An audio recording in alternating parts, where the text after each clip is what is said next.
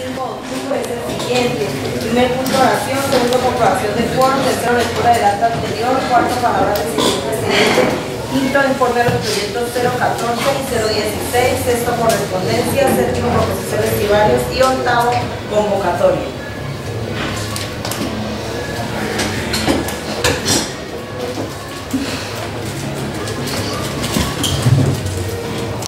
Informe y.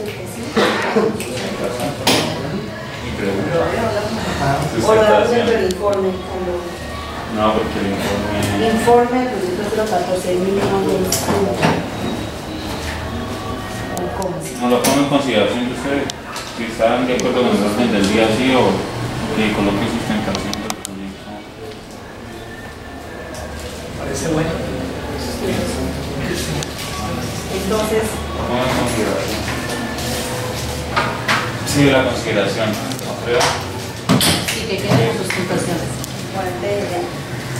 Pongo en consideración ahorita el orden del día con la mayoría de proyectos.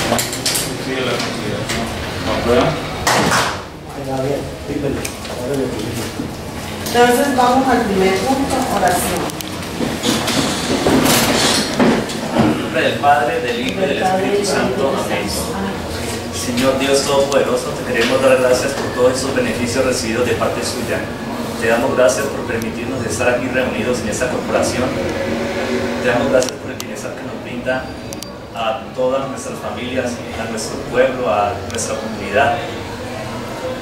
A la vez, Señor, te pedimos por el bienestar de todos nuestros semejantes. Que nos ilumine para que todo lo que vamos a tratar el día de hoy sea de bastante provecho para nuestra comunidad. En nombre del Padre, del Hijo En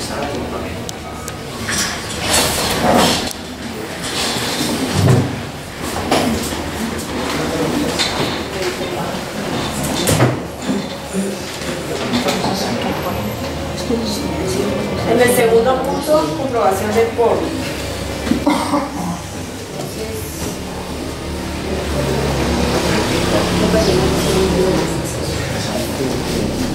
Con el tinto. Bueno, entonces, señor presidente, en el recinto del consejo se encuentran los 11 honorables concejales. Vamos al tercer punto, lectura del acta anterior. El acta era número 067 de 4 de octubre de 2012. El Honorable Consejo Municipal se reunió siendo las 4 y 15 pm para realizar la sesión convocada y para esto se aprobó el siguiente orden del día. Primer punto, oración. Segundo, comprobación del foro. Tercero, lectura del acta anterior. Cuarto, palabras del señor presidente. Quinto, informe, al proyecto número 015. Sexto, correspondencia. Séptimo, proposiciones varios. Octavo, convocatoria. El desarrollo fue el siguiente. En el primer punto, la oración la hizo el honorable concejal Javier Mota. Luego se llamó a lista y se contó con la presencia de 10 honorables concejales y la ausencia del honorable concejal Wilfredo. En el tercer punto se dio lectura del acta número 066, se colocó a consideración y se aprobó por unanimidad. En el cuarto punto, el señor presidente Salomón pasó a referirse al informe que presentara la Comisión Tercera al proyecto 015, eh, también a la invitación que hace el señor personero municipal para el día 12 de octubre a la penitenciaría de Pitalito. Luego disculpó al honorable concejal Wilfredo Ule por la ausencia de la sesión debido a inconvenientes de última hora. En el quinto punto, la honorable concejal de Lorena Mazada, por ende del proyecto número 015, entregó a la Secretaría el informe que presenta la Comisión Tercera. A este, pro- este proyecto, que presenta la Comisión Tercera, este proyecto, el cual, al cual le dan viabilidad y lo pasan a la plenaria para su segundo debate. En el sexto punto, correspondencia. Se dio lectura al oficio recibido de la Secretaría de Cultura y Turismo de Huila.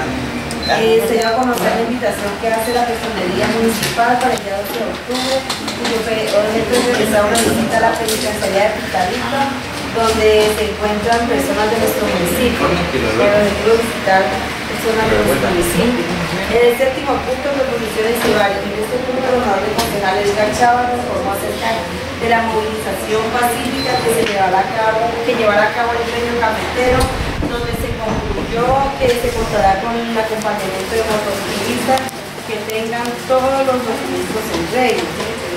Luego, señor presidente, terminada la intervención del honorable concejal José Edgar Chávez, continúa con el octavo punto, haciendo la convocatoria para el día viernes 5 de octubre a las 4 de la tarde y termina la sesión siendo las 5 y 20 pm. En constancia firma, presidente y secretario.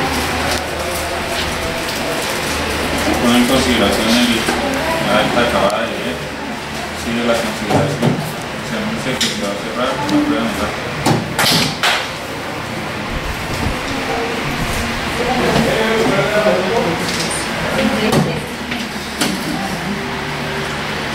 Vamos al cuarto punto, palabras del señor presidente. Muy buenas tardes, concejales. Un saludo buenas tardes. igualmente a la Policía Nacional, a la Digital, a la doctora Miriam, que nos acompaña en esta, en esta tarde. Y hoy le vamos a dar el informe de comisión por parte de las comisiones primera y tercera y el proyecto. Estuve en una reunión a partir de las 1 de la tarde en Quintanito. Estábamos todos los presidentes de, diferentes consejos hablando de, se tocaron cuatro temas, bueno, cuatro temas, ¿sí? El tema cafetero, el tema de la represa que nos afectan directamente a nosotros y, y el tema de la seguridad. Eh, hay algo, se está haciendo una invitación por parte de los concejales de Picanito para una sección que va, a venir la, la Comisión Cuarta de la Cámara de Representantes. Les recuerdo que esta comisión es la que mantiene la parte de presupuestal. Ellos van a estar en Picanito y están extendiendo la invitación. Ahí se tocó un tema global para, para llevar la petición. Y que nosotros un consejo de Curabo pues también tomamos la decisión de llevar una petición así, que ya es la decisión de todos. Si vamos a esa reunión no vamos. Entonces de igual forma el presidente del Consejo de Pitalito quiere venir acá a reunirse con nosotros o si, en la, si hay la posibilidad de unirnos con los de una sola reunión puede ser en Salablanca o acá, puede ser una sola reunión y nos acompañan y ese día que va a venir el, el coronel de la policía, Jairo Vaquero, que nos estaría acompañando también. Entonces, para hablar este, este tema con respecto a la reunión que va a hacer con la Comisión Cuarta. ¿Para qué día? Entonces, la, la fecha es para la semana que viene, o sea, que no estamos de acuerdo. Entonces, ¿qué día? No, día. ¿qué día nosotros nos reunimos con los de Salablanca? El, el presidente de Salablanca pues, me, me, me la invitación que, que no íbamos nosotros allá. Ya. Yo también la hice, pero yo dije, si no hay ningún acuerdo, entonces dos reuniones. Entonces vine acá por la mañana y por la tarde de venir con de Salablanca y no llegamos a ningún acuerdo. Presidente, ¿cuál es la petición que ustedes hicieron? Eh, en varios, entonces vamos a hablar de. Bueno, entonces pasamos al quinto punto. Conceder la sustentación al proyecto 014 e informes del mismo y del 016. proyecto 016. Entonces, Vamos con el informe y pasamos a la presentación de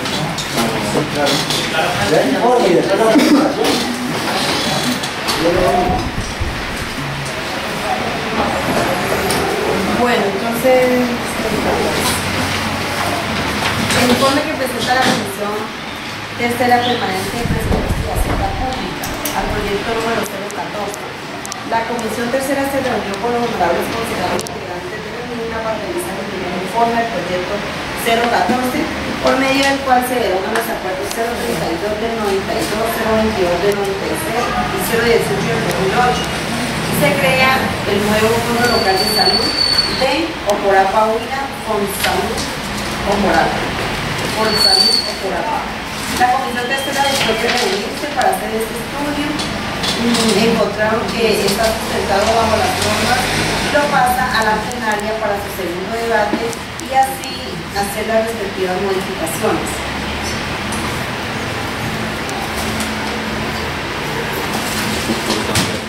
En constancia firma presidente Fabián Calderón de la comisión, el secretario Javier Mota, el secretario y el ponente el Lorena Mazabe, integrante de Luis Ramos y Wilfredo Ule, igual integrante de la comisión.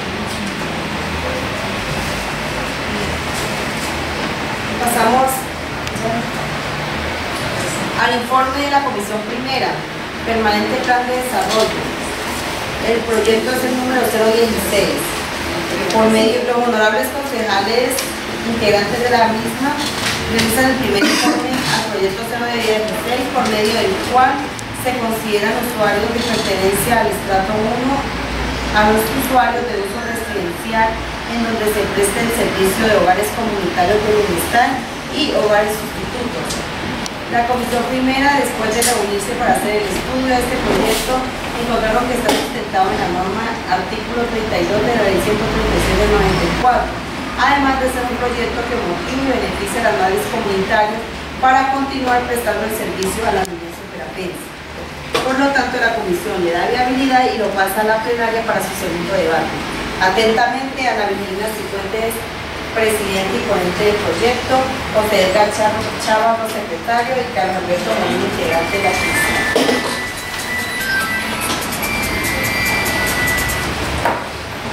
Virginia, cordial saludo nuevamente en el día del consejo. Sí. Esperamos que la comisión haga la preguntas y la duda y poder Vale. algunos Vale, muchas gracias, muchas gracias primero que todo a ustedes por, por el interés eh, del tema de salud.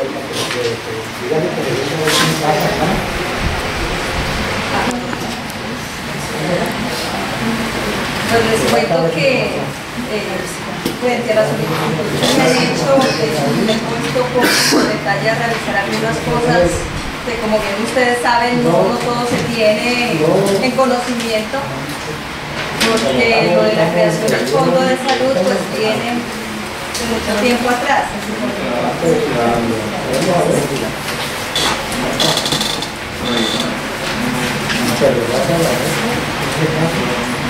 Entonces pues me he dado la tarea de, tratar de hacer un resumen básico de lo que es la normatividad en relación a los acuerdos que se han realizado en la creación del Fondo de Salud.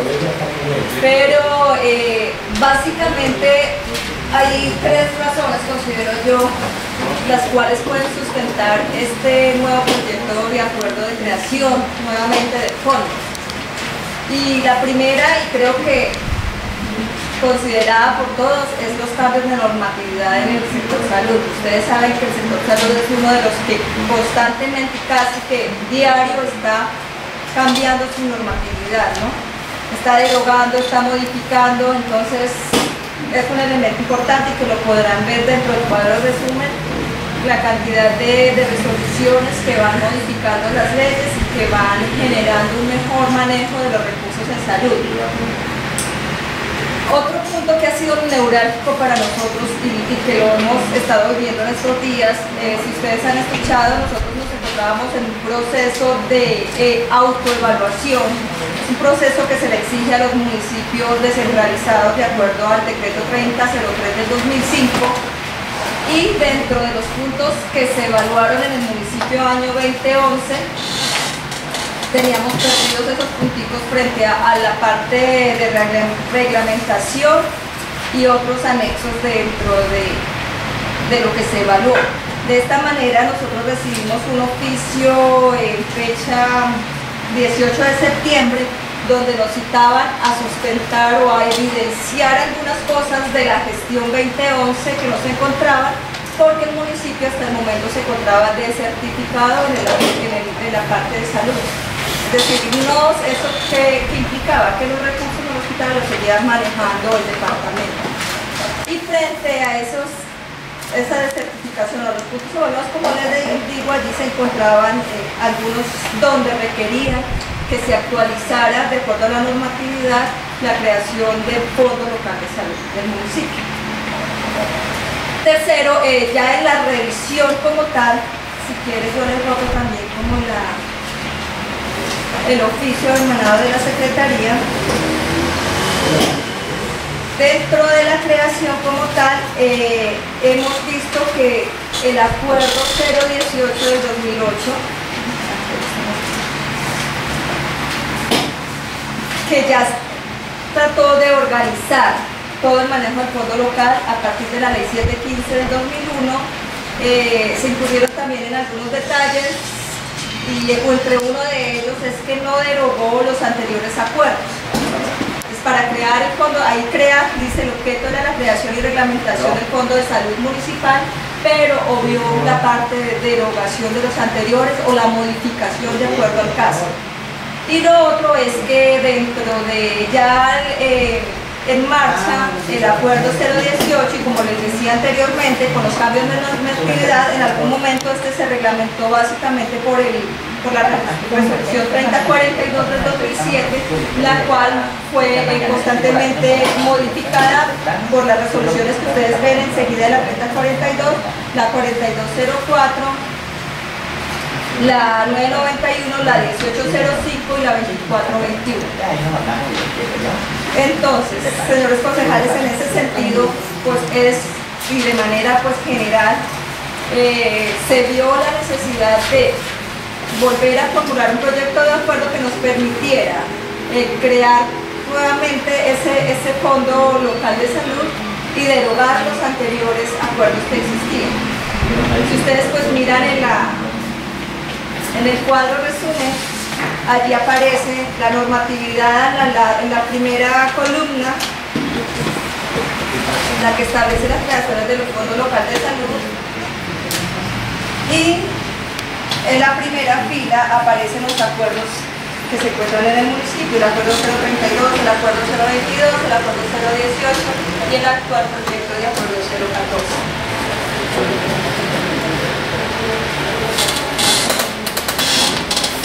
Realmente como entrar a hablar de cada norma, aquí he tratado de ser un poco eh, específica en cuanto a los puntos, artículos literales que va modificando cada resolución y los que se van cumpliendo ¿no? de acuerdo, valga la redundancia, de acuerdos que se establecen.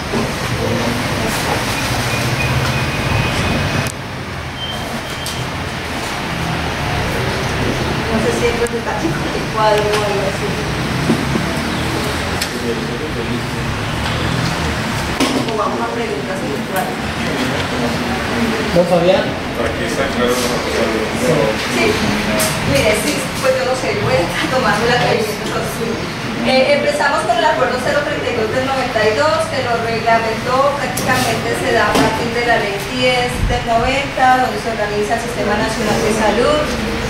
Eh, este, esta ley pues, ha sido derogada parcialmente por la ley 223 del 95, igual la ley 60 del 93 también en la que se basó el acuerdo 032 y el acuerdo 022 quedó totalmente derogada por la ley 715. Pues en ese sentido vamos viendo cómo, se da la necesidad de ir cambiando ese fondo local de salud. Es decir, en relación al acuerdo 032 y 022 en este momento están completamente derogados por las leyes que le preceden. Luego ya viene el acuerdo 018, ya más actual aplicando la ley 715 del 2001 en este acuerdo 018, pues podemos ver que allí ya se organiza lo que es el Fondo Local de Salud. Eh, de acuerdo a la, resolución 3042 se reconocen, se crean las cuentas maestras, las tres cuentas maestras, eh, se destina mm, un manejo exclusivo de cuentas, de cuentas para ellas. Eh, se estructura y se le da operación y se registran esas cuentas maestras a través del Ministerio de Protección Social en su momento. Es decir, si miramos ese, si ustedes en la comisión que estudiaron el, el acuerdo 018 vemos que en relación con el 014 es casi, tiene muchas cosas en común, muchísimas, el manejo de las cuentas, el manejo del gasto, la estructura, eh, las fuentes de financiamiento, etcétera, etcétera. Ya después de la, del 3042, entonces las resoluciones siguientes del, del, año 2008 al 2010, que son las más actuales, pues ya nos invitan, nos, nos llevan o nos, a que reformemos ciertos artículos de ese 3042, que es lo que ya establece el nuevo acuerdo 014. Es prácticamente eso, es debido a la, al cambio de normatividad y como ya les dije, a el error procedimental de pronto del 018 también, que no derogó los anteriores acuerdos. Se hace la necesidad de actualizar y de cumplir con la norma eh, de acuerdo a, a, lo que está vigente. De hecho, nosotros seríamos el primer municipio en el UIR en que tendríamos actualizado ese fondo local de salud con las normas ya del 2010, con, los, con las resoluciones del 2010. Y otra cosa, ya se me estaba olvidando, y es que en todo este proceso de revisión y autoevaluación nos encontramos que si bien es cierto, hay algunas cosas que ya están establecidas, yo preguntaba antes sobre guía, bueno, las cuentas maestras, ¿cómo están? Ya están denominadas como tal, su apertura en bancos, eh, no está el sustento reglamentario. O sea, el 018 de pronto no contempla todos los elementos, como le digo, actualizados, para poder decir listo, con ese nos queda. Entonces, este ya 014 ya reglamenta absolutamente todo de acuerdo a la, como les digo, la última norma 2010 que nos establece cómo deben funcionar, cómo deben estar estructurados los de salud. Pues eso es como en términos generales, entrar como la particularidad de la, de la ley de las pues ya sí. No sé, ¿qué alguna pregunta? ¿Qué, qué,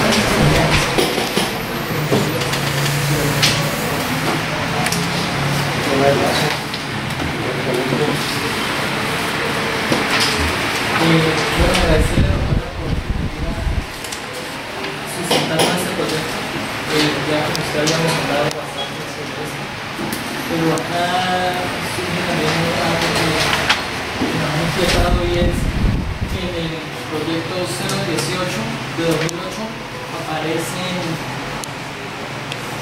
cuatro subcuentas y en, el, en ese proyecto aparece solo 014 ahí estarían derogando la subcuenta de prestación de servicios de salud a la población pobre y vulnerable en lo no cubierto con subsidios a la demanda vinculada. Valga, voy a hacer una aclaración frente a eso y es precisamente eh, hay unos errores de tipeo allí que igual los, ya los organizamos frente al gráfico y frente a las cuentas o la cuenta de la población, de los prestaciones de servicios a la población. No incluyeron ese nombre larguísimo, que finalmente es lo que llamamos población pobre más ayudada o que llamamos anteriormente vinculada.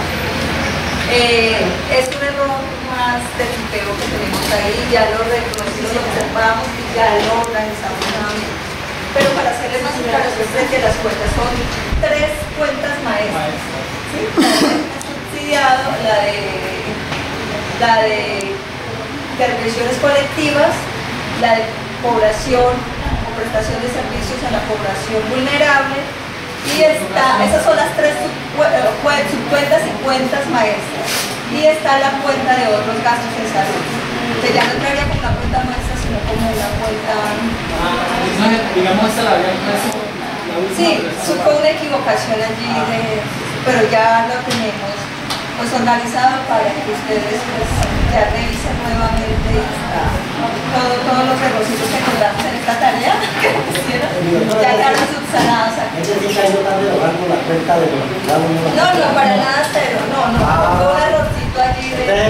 No te informe de la cuenta. Sí, sí, fue un error de tipeo pero eh, ya en los ajustes que le, en los ajustes del reconocimiento de errores ya de revisión ya volvió a quedar las tres cuentas maestras y la cuenta de los gastos en salud.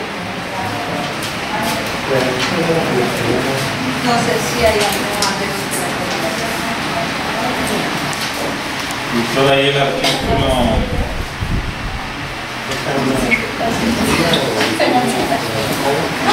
El artículo cuarto, aquí en el numeral 27, habla de las sanciones y habla que los funcionarios, servidores, empleados públicos que desvíen o retarden el uso de los recursos del nuevo campo local de salud doctorado. Al final, el artículo 4 pero al final, Ah, antes del 15. Ah, acá. Sí, pero ya en el Descubrimiento.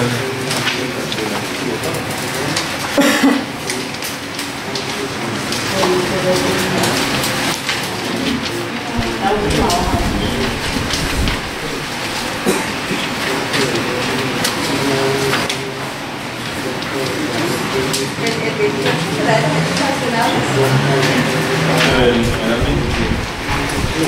Funciones. La última ya ya me cambia el 28.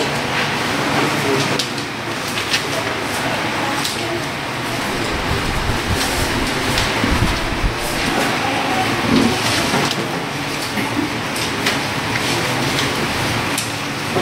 sea que en última. ¿Qué? Pues es como todo, es decir, como, como el, la reglamentación del fondo local eh, ha quedado, bueno, de hecho está reglamentado y se organiza de tal forma que todo el, el- el- los recaudos que se hagan vayan exclusivamente a esas cuentas maestras. Cualquier cambio de cuentas, cualquier pues movimiento, digamos, eh, o uso de dinero, o uso de recursos en áreas diferentes que no sean para las que están destinadas, pues obviamente va a generar unas sanciones a aquellas personas que están No, delante del doctora, mi, mi, mi pregunta más concreta es que, o sea, los servidores públicos en este caso los funcionarios. Ah, ah, Ya los funcionarios, pues son los que trabajan ahí en la, la plaza. Igualmente los empleados públicos. Si no, de la palabra servidores. O sea, nosotros en este momento, el consejo interno no va a ser parte de, un concejal de este fondo, lo que hemos estudiado, ¿sí? Que no fondo que tampoco ¿Cierto? ¿Me entienden? o no? En el encabezado general, aquí en el encabezado general.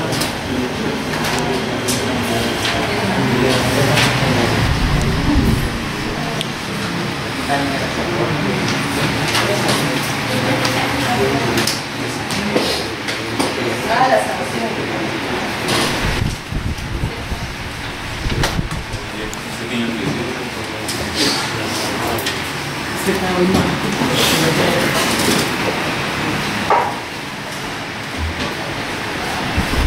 No, pues es como una duda que me causó, o sea, sea como que no. O no sé si algún consejero de parte de esto. Él está hablando de, de, de punto 29, no sé si hay responsabilidad 29, 28, de sanción. Sí, acá está el 20, acá el 27. Siete. Bueno, y sí, es que este ya está, está sacado para mirar. A ella le da 29, no importa, pero es el mismo.